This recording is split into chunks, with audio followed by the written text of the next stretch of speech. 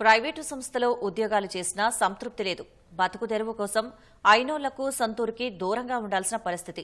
స్వయం ఉపాధితో పాటు నలుగురికి ఉపయోగపడే పని చేయాలని సంకల్పించారు ఆ ముగ్గురు. విభిన్న వ్యాపారం దిశగా అడుగులేశారు. ఎపికల్చర్లో శిక్షణ తీసుకుని తేనె వ్యాపారం ప్రారంభించారు. సవాళ్ళను అధిగమించి ఇప్పుడు ఏకంగా ఏడాదికి డెబ్బై లక్షల టర్నోవర్ సాధిస్తున్నారు.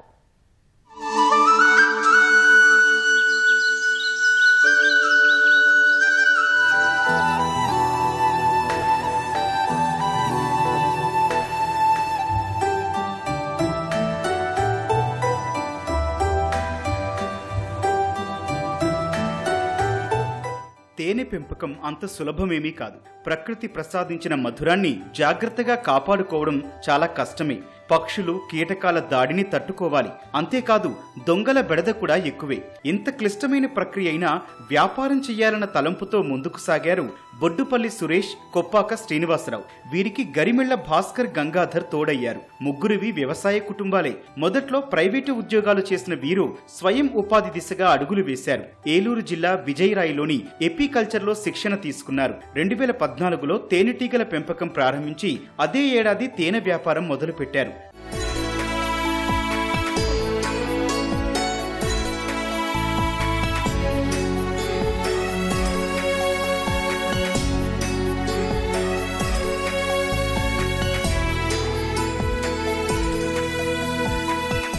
మొదట్లో నెలకు రెండు వందల కేజీల వరకు తేనె తయారు చేశారు. తేనె పట్ల వినియోగదారులు అపోహలు పెద్ద కంపెనీలు పోటీలో ఉండటంతో వ్యాపారం సజావుగా సాగలేదు. అయినా పట్టు విడవకుండా ప్రయత్నించడంతో అనతి కాలంలోనే సవాళ్ళ నుంచి బయటపడ్డారు.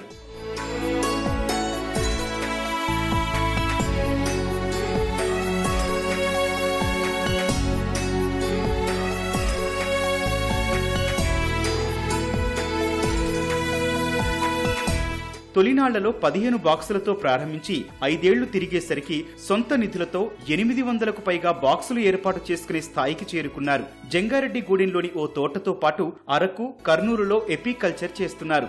ఆదరణ లభించడంతో నెలకు పదిహేను వందల కేజీల వరకు తేనె ఉత్పత్తి చేస్తున్నారు. తేనె తేనెని ఇది ఓన్లీ పూత మీద నుంచి తీసుకొస్తుంది. అది పెస్టిసైడ్స్ కొడితే ఏగ అక్కడే చచ్చిపోతుంది. పెస్టిసైడ్స్ లేకుండా ఉండే పంట మీద నుంచి మనకి హాని అనేది తీసుకొస్తాయండి. ఎనిమిది వందల ముప్పై బాక్సులు ఈ రోజు అయితే ప్రస్తుతానికి మా దగ్గర ఉన్నాయండి. ఆ, నెలకి ఐదు వందల యాభై కేజీలు సుమారు వస్తుంది ఇక్కడ అరకులో అరకు ఉందండి అరకులోనూ ఐదు నెలలు ఉంటాయండి. అక్కడైతే కనుక ఈల్డింగ్ బా మూడు నెలలు బాగా వస్తుంది అక్కడ రెండు వందల బాక్సులకి సుమారుగా ఎనిమిది వందల కేజీలు చిల్లర వస్తుంది అది యావరేజ్గా బాక్స్కి మూడున్నర కేజీలు చిల్లర వస్తుంది లాభసాటిగా ఉందండి. ప్రస్తుతానికైతే మాత్రం చా- అయితే బాగుందండి. ఆ కస్టమర్స్ ముందు కస్టమర్స్ హ్యాపీగా ఉన్నారండి. ఏ ఒక్కరు కూడా మా మీద డీలిస్ట్ కానీ డిమెరిట్ కానీ డీ పాయింట్ కానీ ఒక్కటి కూడా చెప్పలేదు. తర్వాత కొంతమంది రైతులు మాకు పుచ్చ తోట వేసామండి మాకు పాలినేషన్ కోసం కావాలండి. మేము ఆ గుమ్మడికాయ పెట్టామండి. మాకు పాలినేషన్ కావాలండి అని అడుగుతుంటారండి. కుశల న్యాచురల్ హనీ పేరుతో సొంతంగా సంస్థను రిజిస్టర్ చేయించి సామాజిక మాధ్యమాల్లో ప్రచారం చేస్తూ వ్యాపారాన్ని అంచెలంచెలుగా పెంచుకున్నారు. కల్తీకి తావులేని స్వచ్ఛమైన తేనె ఉత్పత్తి చేయడంతో ఏడాదికి డెబ్బై లక్షల టర్నోవర్ వ్యాపారం చేస్తున్నారు. తేనెతో పాటు ఉప ఉత్పత్తులైన పుప్పొడి రాయల్ జెల్లీ మైనం నుంచి కూడా అదనంగా సంపాదిస్తున్నారు. ఆంధ్రప్రదేశ్ విడిపోయిన తర్వాత సొంతూరుకు వచ్చేసి మనమే ఒక ఎంటర్ప్రైజ్ రవి పది మందికి ఉపాధి కల్పించాలనే ఉద్దేశంలో మొదట తేనె పరిశ్రమని స్టార్ట్ చేశాం. హనీని కలెక్ట్ చేస్తున్నాం ఏపీ కల్చర్ చేస్తూ. ఎందుకంటే తేనెలో చాలా అపోహలు ఉన్నాయి. జనరల్గా మాలాంటి వాళ్ళు ఇంత స్వచ్ఛమైన తేనె తీసుకెళ్ళినా మీరు షుగర్ కలిపారా బెల్లం కలిపారా జీలకర్ర కలిపారా లేకపోతే నిజంగా తేనె అనే క్వశ్చన్లను ఎదుర్కోవడం ఒక రకంగా మానసికంగా అది ఫేస్ చేయాలి. మన స్వచ్ఛమైన తేనె కలెక్ట్ చేస్తున్నప్పటికీ. కార్పొరేట్ కంపెనీల దానికి మనం నిలబడలేం.